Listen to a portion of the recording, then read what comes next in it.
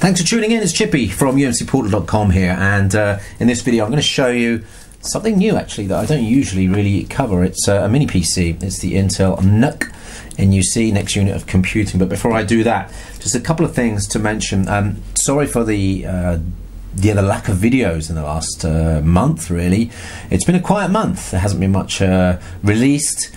Uh, I tested all the 8-inch uh, Windows tablets and uh, recently the Dell Venue Pro 11 or Venue 11 Pro with Bay Trail. Very interesting product. Um, but last week, um, the HP Pavilion 11X2 was brought to my attention, which is a, um, a fanless Core i5 tablet and docking station, very similar to the Venue 11 Pro, and was offered 599 in the US recently. So that makes it a pretty interesting product because the the keyboard, which is included in the package, has an extra uh, 20 watt hour battery in, bringing the whole lot up, I think, to about 50 watt hours, 22 watt hours plus 28 watt hours in the tablet. So, really interesting and lo looks like really good value as well. So, that might be coming in for a test. Of course, the Acer. Uh, Switch S10 was launched, or the Switch 10. Um, quite an interesting product, but a little bit disappointed that it wasn't higher end. We're at the point in this year now where we need to be raising the bar on the Windows tablets um, or going in with a super cheap product. Now, of course, this Acer product will be pretty cheap. It will be competing with the Acer with the Asus T100, but that T100 is still popular and has a massive community around it. So I'm not sure quite how the Switch uh, S10 will do.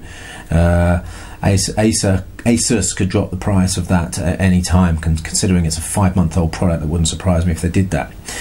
But anyway, so there's a couple of things that are, are coming up. Um, but let's get into this Intel uh, NUC. So what am I going to do with this? Of course, it's a, it's a mobile computer. It's a very lightweight, very low power uh, and silent, fanless um, um, desktop computer, mini PC really, um, which has got the Bay Trail M processor inside. And this is the N2820. Um, the recent one is the N2830, which has a slightly bigger, slightly faster clock and supports the Intel Media SDK a bit better. But this is still an interesting product. I'll show you around the product right now. So we're looking at the DN2820FYKH here. Um, this is a kit. So although this comes with CPU, it doesn't come with memory and it doesn't come with, uh, with a drive. So those are the two things you'll need to drop in afterwards. It does come with a Wi-Fi card inside though. And, uh, and you'll see on the connectors and around the box that it's also got infrared receiver on it built in. So of course that makes it really interesting for home theatre PC. Um, this is an aluminium block. Really looks quite nice. Let's take the uh, let's take the plastic off here because. Uh, I want to see if that's matte or, or uh, glossy. What sort of material it is? That's a nice glossy finish. I really, really hope that that is somehow a little bit scratch resistant. Come on, where's the rest of it? Just take that off there so you can see it in all its glory. Hmm. I got a feeling that's going to be a little bit scratch sensitive. At the moment, it looks gorgeous, but um, you know that plastic. Unless it's really good quality, it's going to scratch. On-off switch on the top there. Let's take you around the device. So it's um, a heat output there. I think this is fanless. I'll double check for you. The heat input at the bottom, heat output at the top. Also heat input there as well. Uh, gigabit Ethernet. It's a Realtek uh, card, I believe a Realtek a module, eight full HDMI, DC in. This is a 12 volt DC in. That's interesting. Solar projects, perhaps. Car powered. Uh, a couple of USB ports, and I think one of them is USB 3 and one is USB 2. Um, there's ah, the USB 3 is at the front, so that's the two USB 2s at the back, and at the front you've got the uh, infrared receiver. I think receiver. I don't think it's a transmitter as well, so I don't think you can control I don't think you control uh, can control uh, consumer IR devices with it. Um, or is that the point? I don't know. Maybe it is a transmitter. I'll double check for you. Um, weighs. Uh, ooh, I don't know. How much does that weigh? 500, 600 grams? Difficult to tell, really, but uh, pretty light anyway. Just having a look at the specs here, see if I can see uh, how much it weighs, but it doesn't say. In the box, you've got uh, oh sticker. You've got uh, ah okay. Your instruction kit here. Ah a VESA mounting plate. So then go on the back of a TV and inside here we've got a set of screws. So remember there's no disk in this one and the nice thing about Bay Trail M is that it supports a SATA interface SATA 3 so we've got a US we've got uh, all sorts ah those are the European these are all adapters good. So it's kind of a global package we've got here. There's the rather boring looking wall wart and that's it in the box. So pretty nice. So just to tell you that there's um, another version of this. Uh, if you have a look on the bottom just want to show you this uh, where is it? This version number here. Let's get that into focus here. This version number here ends in 101 and that's one of the early versions of this device. The later versions actually have the N2830 CPU, CPU in it uh, which is a little bit more powerful and also has a little bit more um, video encode decode capability enabled on it as well. So if you're really really into high-end uh, video encoding and decoding then it might be uh, worth waiting for the 2830 version but this is the 2820 version. So what I'll do now is I'll, uh, I'll just pull this apart. We'll have a look uh, inside. So just undoing the four screws uh, on the bottom there gives you access to the disc. That looks like a, a nice height 9 millimeters at least there. So you're not going to need a um, 7 millimeter uh, disc. And um, I'll probably drop um, I've got a um, my digital SSD BP4 that I'll probably drop in there an SSD so in order to keep the power down keep it as quiet as possible and make it as fast as possible we don't want bottlenecks. Let's uh, drop an SSD in that. Um, I'll do that uh, on another video. Does this actually come out now? Okay let me just pull this off here. Um, I need to just undo well, it looks like I need to just undo that cable there I think maybe I can do it anyway. Probably should pull that cable header off. There you go. Right. Let's zoom in and I'll, uh, I'll show you around uh, what's going on inside here.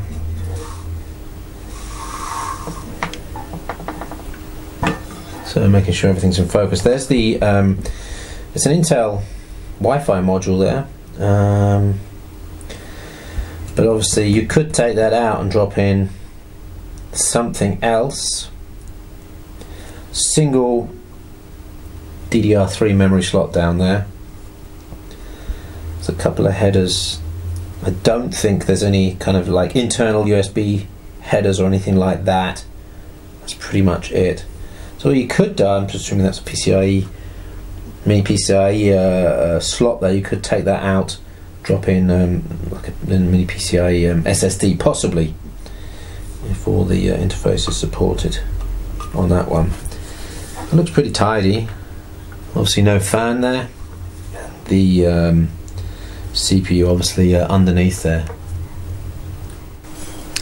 So if you just pop out the uh, IR window there, what you can do, if you're careful, is to um, slide the actual uh, casing off to expose know, it makes it a little bit easier to work on. There's a couple of screws on the main board, but what I think you'll have to do is, yeah, I'm not sure if it comes completely apart. It must come completely apart at some point.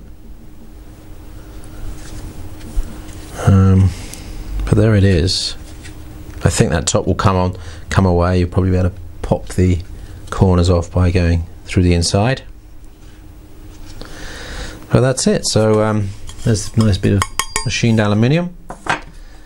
There's the drive bay and the bottom there. And obviously no fans at all on that. So I'll put that together and I'll drop a. Let's see if I can just drop a disc in for you now and show how that uh, how that all goes together. So I haven't got an SSD here, so I'm just going to slot in a, um, a Western Digital SATA drive there, 500 uh, gig drive, and the the screw holes there on the side. And I assume in the packet we've got the right screws.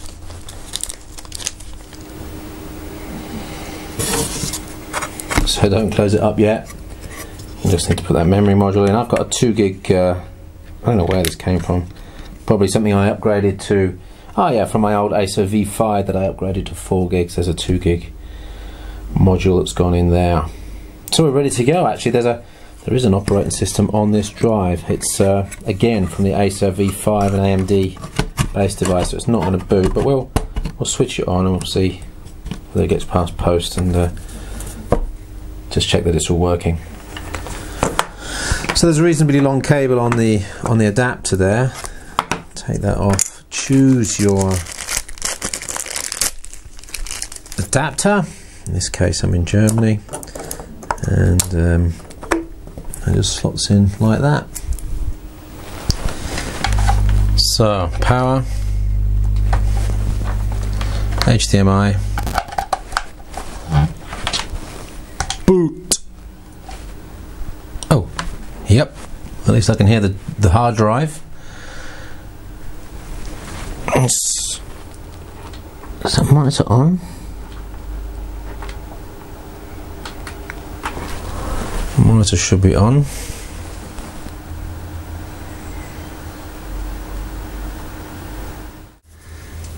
So as you can see, it didn't work. Um, so I spent a couple of hours uh, yesterday evening, it's now the, the, following day, taking apart Ultrabooks and bits and pieces to try and find another memory module because um, I guess it's quite quite um, useful that that's happening happened because you need to be aware that you need 1.35 volt SODIMM DDR3 L RAM rather than the 1.5 volt uh, RAM modules that you get uh, on maybe slightly older DDR3 capable SODIMM laptops. So um, what I had done is I'd taken one out of where where did I have that? It was an upgrade, an old upgrade stick that apparently from Samsung should run at 1.35 volts, but it wasn't working.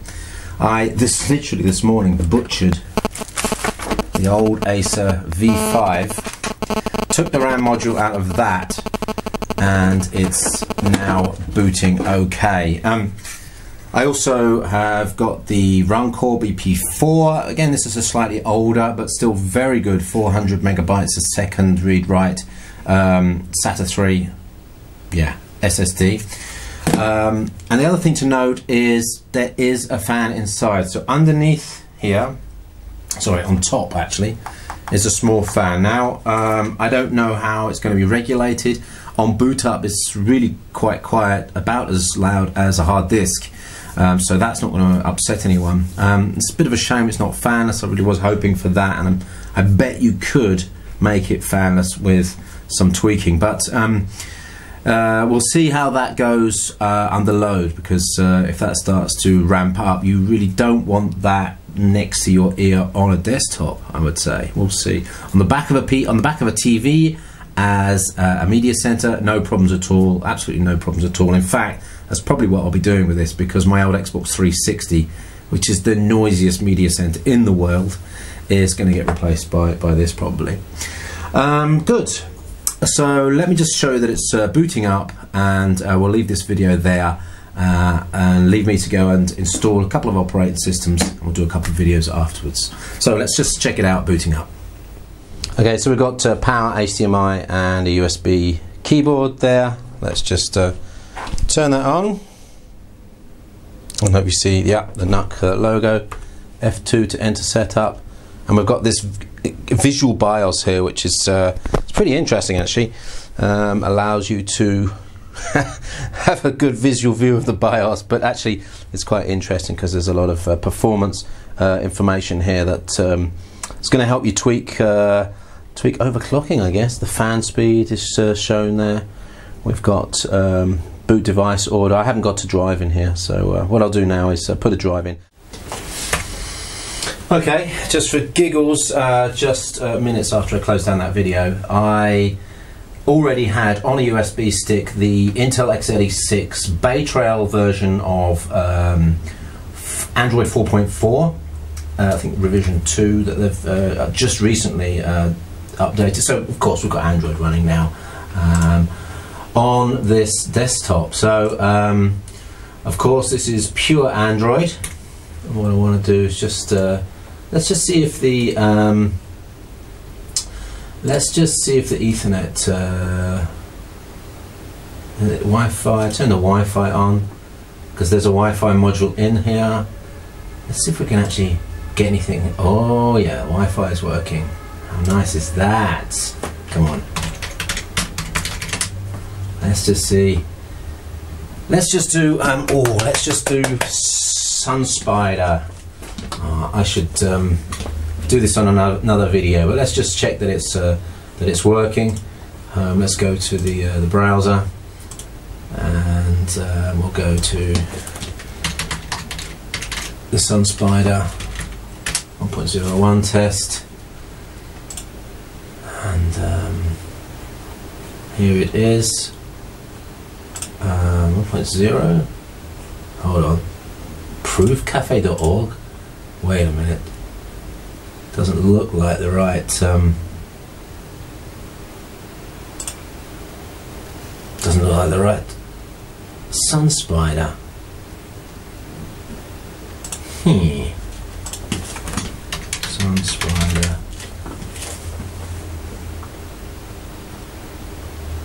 proofcafe.org. Is that where it is now? A little bit worried about that, but um, version 1.0, we'll just run that through. I'm guessing that's going to be about. Oh, it doesn't look that brilliant. What do you reckon? 500? My guess is 500. I've done this so many times I can tell the speed just by looking at how fast it runs through. 494. Oh yes, credit Chippy. Uh, so anyway, at least at least that's working.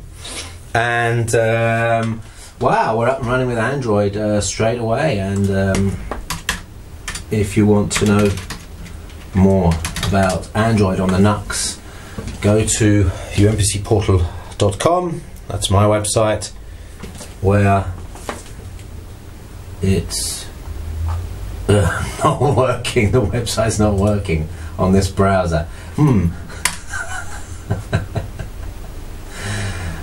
oh dear. Anyway, umpcportal.com is uh, is my website. Look, there's the logo. That page at least is working. Why isn't the home page working? It is now. Just needed to load some stuff. Good. There you go. UMPCportal.com. Thanks for watching. My name's Chippy at Chippy on Twitter with the Intel NUC. Thanks for watching.